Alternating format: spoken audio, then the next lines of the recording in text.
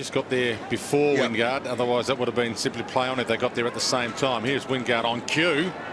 Hacks it oh. towards goal. Can you believe it? On cue, kicks the goal against the flow.